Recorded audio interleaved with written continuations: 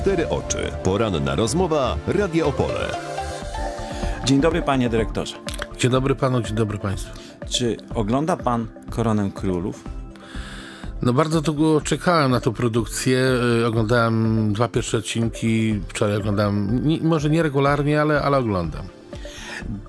Zanim spytam, albo wyjaśnię, dlaczego pytam, bo, bo właściwie y, dyskusja o tym filmie, o tym serialu, o tej telenoweli urosła nieomal do rangi narodowego e, sporu.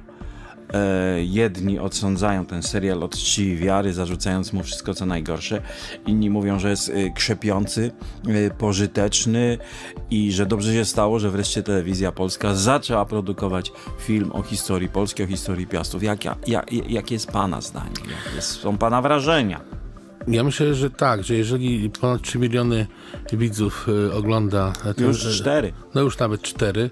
Y, już skoro jest tyle dyskusji, ja przypominam sobie, kiedyś była dyskusja, czy Magdalena Braunek to ma być Oleńka, czy, Kmicic, czy Olbrycki się nadaje. Pan jest z tego pokolenia, pamięta Tak, Pan te dyskusje? Tak. I, i pewnie no, są ludzie, którzy się znęcają nad tą produkcją, tylko porównują, porównują ją do czarnych chmur. Tylko, że panie redaktorze, no, poetyka noweli jest taka, nie inna. To nie jest serial historyczny, tylko to jest telenowela. No ja nie przypadam za tym gatunkiem, ale, ale to jest telenowela, no więc telenowela nie jest serialem historycznym. To nie jest produkcja mm, jakby pełnometrażowa, wysokonakładowa. To jest, y, to jest taka a, telenowela, pamiętamy Niewolnicę i Zaurę, pamiętamy inne telenowele. Czy choćby teraz, to wspaniałe stulecie, ten Pa- właśnie. su- turecki y, tasiemiec, y, który mniej więcej w tym samym stylu jest na, na, Tak. nakręcony. I- i- Dialogi, dialogi oczywiście. sztucznych, tekturowych wnętrza. Tak, ale, proszę zobaczyć. No To lepiej chyba, żebyśmy oglądali o Łokietku i jego synu Tak, y- serial niż o... Tak, tak. To, panie doktorze, no tam jednak są jakieś plenery, y, y, akcja Owszem. rozgrywa się nie w jednym pokoju. Y, ci, ci młodzi aktorzy próbują, y, próbują grać. Kuchnia była za mała, nie wyglądała na zamkową, tylko na taką urszynowską. No, no jasne, no, natomiast tak jak pan powiedział, no fajnie, że ktoś się zabrał za to. To nie ja powiedziałem, to mówią ludzie, huczy o tym internet. Tak, ale, ale że ktoś próbuje tą historię polskiej ludziom przybliżyć.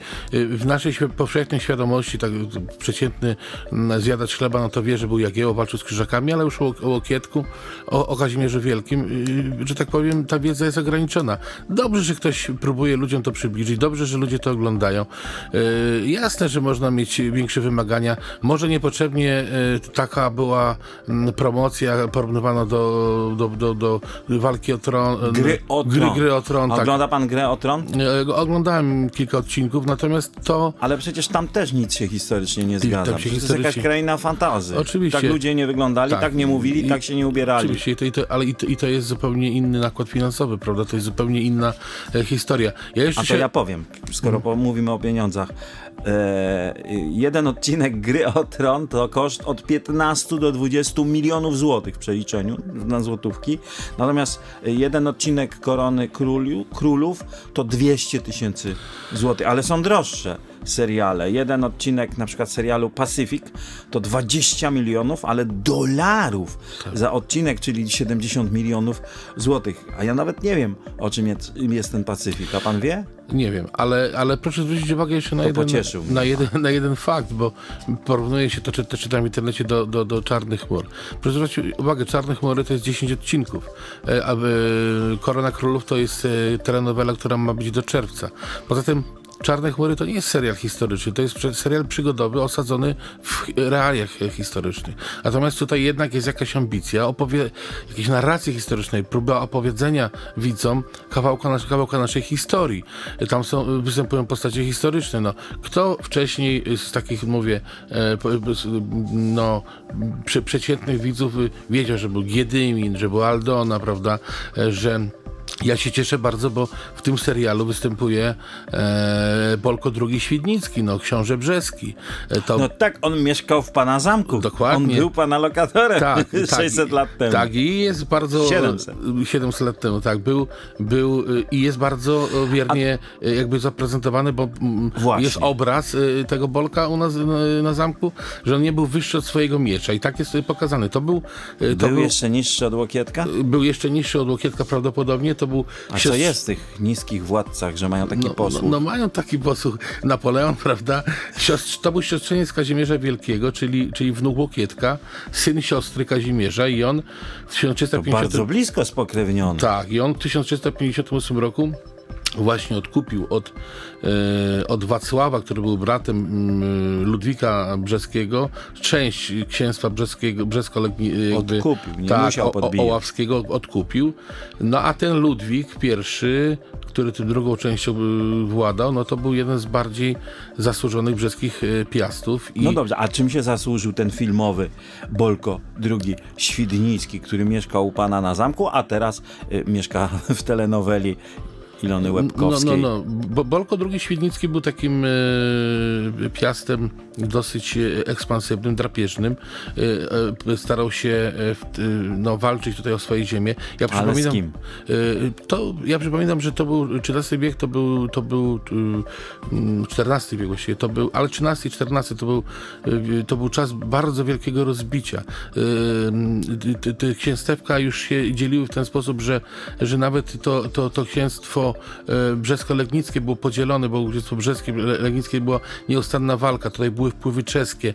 E, Zresztą, zresztą Bolko by potem e, był lennikiem właśnie króla Czech i, i wcześniej piastowiec z jego linii również. Wielkiego rozbicia, walki. Była nie, to nieustanny niepokój był i właśnie ci książęta no, walczyli o to, żeby w ogóle zaistnieć. No ale przypomnę też, że no był, y, był spokrewniony blisko, no nawet właśnie z tym, z tym Henrykiem Brodatym, który był mężem świętej Jadwigi, prawda, ich syn Henryk Pobożny, prawda, później Bolesław Rogatka, pierwszy, e, pierwszy samodzielny właściwie e, tutaj książę brzeski, Henryk Brzuchaty, którego Głogowczyk trzyma w klatce, to bardzo ładnie Elżbieta Herezińska opisuje w tej swojej trylogii. A Bolesław III skoro jesteśmy już przy Elżbiecie Herezińskiej, wybitnej polskiej historycznej pisarce, to jest taki trochę współczesny Sienkiewicz Spódnicy, e, który, która pisze o e, Piastach, krąży plotka, że chce pan namówić tę pisarkę do e, kontynuowania e, jej sagi o Piastach z uwzględnieniem Piastów brzeskich właśnie. No tak, To bo prawda? jesteśmy w kontakcie z panią Herezińską podczas ferii, ma nas odwiedzić. Tych ferii teraz? e, Zimowych, tak. E, Proszę nas o tym poinformować. No, oczywiście będziecie Państwo pierwsi, którzy. Ona jest bardzo teraz jakby zajęta, bo ona jest w trakcie pisania czwartej części właśnie o Kazimierzu Wielkim. Wydała teraz jeszcze Legion o żołnierzach. No, to Legion to była książka roku 2010. To Ach, świetna. wznowienie w takim tak, razie jest. Tak, no to wcześniej No, widziałem Harda księgarni. Królowa grała. No dobrze, i przyjedzie do brzegu, żeby Turniej pisać... Cieni, bardzo dobre powieści. I ja chciałbym namówić panią Herecińską, aby e, jakby kontynuowała tą swoją trylogię, e, trylogię już nie trylogię, bo to jest czwa- czwarty tom, ale tą swoją opowieść o Piastach, uwzględniając tą linię Piastu Brzesko-Legnicki, dlatego, że w świadomości takiej powszechnej, no, e, umiera Wielki, Kazimierz Wielki, właściwie on nie ma potomka, zmienia się dynastia, Piastowie przestają rządzić, jest dynastia Jagiellonów, no i... Przyjeżdża i Jagieło z Litwy. Tak. I Tymczasem tutaj rządzą jeszcze tak, dość długo. Tak, i do, właśnie. I y, y, do XVII wieku rządzą Piastowie, są Piastowie, oczywiście to się zmienia formuła trochę, bo oni przyjmują protestantyzm i tak dalej, ale w powszechnej świadomości y, tak, no Kazimierz Wielki i, i, koniec Piastów. Nie, Piastowie jeszcze kilka wieków y, i Śląski Wawel, prawda, y, Piast Jerzy II, przecież ta nasza brama, która jest porównywana z kaplicą królewską na Wawelu, absolutny fenomen według dawnej klasyfikacji zabytek klasy 0, no to tam przecież jest herb Jagiellonów, manifestacja polskości w mieście, które nie było w, przecież w części wcześniej sposób. A dlaczego? Bo ojciec Jerzego II, Fryderyk, jego żona Elżbieta to była siostra Zygmunta Starego. Nie, I stąd Śląski Wawel. Zapraszam No do właśnie. brzegu, kto nie był, zobaczy, że ten zamek wygląda identycznie jak Wawel, tylko jest trochę A mniejszy. y, skoro już mówimy o śląskim Wawelu i o krakowskim Wawelu, to czy, ten filmowy, wróćmy do serialu, serialu y, Korona Królów, to czy ten filmowy Wawel, y, który jest udawany przez zamek w Obolicach, podoba się panu? Yy. Słusznie wybrano lokalizację? No pewnie tak e, krabiec kraje jak materii staje. No, No jak skąd wziąć dziś nowy zamek, no tak? właśnie, no dlatego ja bym się nad tym nie, nie, nie pastwił, nie znęcał. Ja się cieszę, że, taki, że taka telenowela jest i że ludzie ją oglądają, dowiedzą się e, e, trochę o naszej historii. To e, elektryzuje też e, społeczeństwo, e, są dyskusje i ja, ja się z tego cieszę, że taki serial jest. Tą pana radością zakończmy pierwszą część rozmowy. Zapraszam na drugą część rozmowy z Dariuszem Byczkowskim, dyrektorem Muzeum Piastów Śląskich w Brzegu, z którym rozmawiamy dzisiaj o koronie królów serialu e, głośnym ostatnio. E, Zapraszam do e, cyfry, do Daba Plus oraz do internetu. No właśnie. Panie dyrektorze, podobno ludzie na wyścigi e, idą teraz do bibliotek, do księgarni, sprawdzają książki, sięgają do podręczników. Jedni po to, żeby pogłębić wiedzę o, o tamtych czasach, bo po prostu tak ich zaintrygował serial, poznać kontekst, dowiedzieć się szczegółów, e, kto był czyim synem, kim był Łokietek, kim był Kazimierz Wielki, co zrobili dla Polski, a inni po to, żeby złapać producentów na jakiejś, mm, e, na jakimś kiksie nieścisłości, na jakichś szczegółach. Dużo tam jest tych historycznych kiksów w tym filmie. Na pewno y, dużą część m, tej opowieści to jest fikcja literacka. To jest nieuniknione, bo nawet jak popatrzymy na postać Jadwigi, to ona u Herezińskiej jakby zupełnie inaczej wygląda. To ma zupełnie inną osobowość, to jest ciepła, otwarta kobieta. Tutaj no, jest taką heterą trochę, prawda? No ale dlaczego? No, no właśnie, poetyka, e, poetyka telenoweli, no to jest, to, to, się rezygnuje z plenerów, może, z, y, ale co jest istotą? No e, jakby interakcja między bohaterami, oni muszą być skontrastowani, tam musi się coś dziać.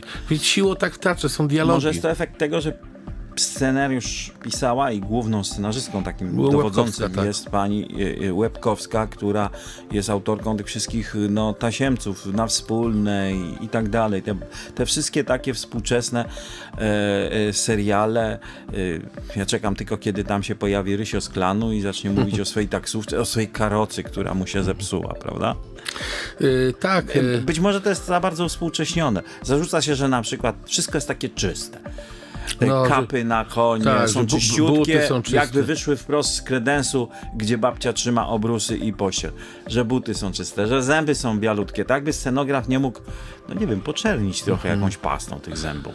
y, no pewnie by można było to zrobić bardziej... Żeby nie było y, sonicznych szczoteczek do zębów. Tak, może pewnie można było to zrobić w sposób bardziej plastyczny, bardziej przekonujący. E, tylko, że e, no, jak mówię, no telenowela też to, i w ogóle sztuka jest sprawą umowną. Przecież wiadomo, wszyscy mają świadomość tego, że oni grają w kostiumach i, i że trochę to jest takie puszczanie oko, o- oka do widza. E, ten film nie ma ambicji udawania rzeczywistości, albo nie ma ambicji powtarzania jakby prawdy historycznej o, do końca, a prawdy psychologicznej o ludziach. Ale proszę zwrócić uwagę na inne seriale. Czy e, serial M, jak miłość pokazuje prawdę polskiej rzeczywistości? Absolutnie nie. Właśnie o to chodzi, więc Wszystkie mieszkania, które często, Tak. chociaż w miłości to jeszcze wyglądają tak, jak No wyglądają. tak, ale te- w, na przykład u, u lekarza tam jest jedna pani, która z drugą panią rozmawia, nie ma zakatarzonych, kichających ludzi wkurzonych, że muszą trzy godziny czekać, prawda? No więc, więc to jest jak w wszystko bardzo umowne. mieszkaniach pokazuje się mieszkanie, no to ono jest nieomalże apartamentem. No właśnie, tak nie właśnie. mieszka, wysprzątanym sterylnie. A czy nie zauważył pan to, co ja na przykład zauważyłem w internecie, że, e, że ocena tego filmu zależy od sympatii politycznych. A więc tak. E, jeżeli nie lubisz PiSu, to automatycznie film nie ma prawa ci się podobać, musisz wieszać na nim psy i cieszyć się, że Kurski e, zrobił tak zwaną e, wtopę. Jeżeli jesteś zapisem, to albo entuzjastycznie podchodzisz, za dobrą zmianą, tak powiedzmy, to albo entuzjastycznie podchodzisz do filmu, albo mówisz, no są tam jakieś braki, ale w sumie to bardzo dobrze, że się ukazał. E, Panie redaktorze, no ja jestem stroną, więc ja nie będę tutaj obiektywnym werdyktem, Ale ja ponieważ pana ja, pytam, ja, jestem, ja jestem za dobrą Strona zmianą. też może obiektywnie, Tak, jestem albo za inaczej zmianą. celnie y, zauważyć jakieś Tak. zjawisko społeczne. I ja, ja jestem stroną, jestem samorządowcem PiSu, jestem radnym Sejmiku Wojewódzkiego z ramienia Prawa i Sprawiedliwości trzecią kadencję z rzędu, więc ja gdzieś tam jestem stroną. Ja nie chciałbym, żeby absolutnie wszystkie aspekty naszego życia społecznego, łącznie z prognozą pogody, były gdzieś tam warunkami uwarunkowane politycznie. E, Ale wie pan, że tak jest. Tak jest. I ja, ja nie jestem z tego zadowolony. I ja myślę, że i powinniśmy zostawić sobie pewien margines jednak e, tolerancji, pewien margines luzu. I powinniśmy mieć trochę więcej dystansu do siebie i do tego wszystkiego, co nas dotyczy. Jeżeli będziemy tak seriozna, prawda, tak serio naprawdę traktować koronę królów i, i, i, i to wszystko, co jest naokoło nas, to to zwariujemy. E, ktoś może lubić Kurskiego albo nie lubić, ale co to ma do rzeczy? No, skoro ludzie chcą to oglądać, to niech oglądają, może kochane, przecież tam nie ma żadnych złych treści, tam się nie promuje agresji, nie promuje się W głupoty, ciągu prawda? ostatnich 10 lat ukazało się co najmniej kilkanaście seriali, o których w ogóle nie rozmawialiśmy, albo o, o których istnieniu nie mamy nawet pojęcia i w ogóle nie budziły naszych emocji. Prawda. A nagle bam. Tak. Ale to może lepiej, bo zaczniemy się interesować swoją historią. To jest bardzo e, e, dobre. I wie pan, ja e, pracując w szkole ubolewałem nad tym, że w moim, w moim przekonaniu świadomie próbuje się tak układać programy, to minimum programowe, tak to wszystko komponować, żeby broń Boże uczniowie nie nauczyli się historii. To znaczy, właśnie. lepiej, żeby Mamy wybierali. jeszcze bo- 40 sekund. Pan tutaj poruszył ważną rzecz, o którą muszę zapytać, bo sam jestem ciekaw. Dlaczego świadomie dążono do wykarczowania historii z naszej... I kto to zrobił? Wie pan, ja nie chcę tu uży, używać wielkich słów, ale wydaje mi się, że naród, który nie zna własnej historii, jest y, y, narodem y, łatwiej sterowalnym, łatwiej podatnym na, na, na jakieś takie miałkie idee. No, wygodnie pozbawić naród korzeni po prostu. Czyli co, Europa Tuskowi kazała ograniczać nauczanie historii w Polsce? Nie, nie chciałbym tak daleko, może tak kategorycznie. Natomiast no, poprzednia ekipa nie zwracała uwagi na to może. Nie uważała, że to jest ważne. Eee, ja natomiast uważam, że to jest bardzo ważne. Wie pan, jeżeli ktoś nie zbuduje chodnika, na, to ludzie będą chodzić na skróty na osiedlu. No więc jeżeli uczniowie mogą zdawać WOS zamiast historii, no to, to będą zdawać. Jeżeli można się dać na, na prawo nie znając historii, no to i, i tak dalej. Jeżeli się złośliwe testy na, na maturze z historii e, e, or- organizuje, to jak ja e, 99 roku zaczynałem pracę jako dyrektor w liceum, to 30-40% populacji zdawało historię. Jak, e, jak kończyłem 1-2%. I to, była, I to była średnia krajowa. I ja nie wierzę. w- 1%? No, no, no, no, mniej więcej tak, 1-2%. Historia jest ważna w naszym w życiu narodu. Bezwzględnie kto nie zna historii jest, y, jest biedny i naród nie ma przyszłości, nie znając swojej Kto nie zna przyszłości. historii jest tak. biedny, a naród nie ma przyszłości. Mamy kolejną puentę na kolejną część naszej rozmowy. Dziękuję, Dziękuję za bardzo. tę rozmowę. Moim gościem był dziś Dariusz Byczkowski, dyrektor Muzeum Piastów Śląskich w Brzegu. Dziękuję panu, dziękuję państwu. Do widzenia. Miłego dnia. Cztery oczy. Poranna rozmowa. Radio Opole.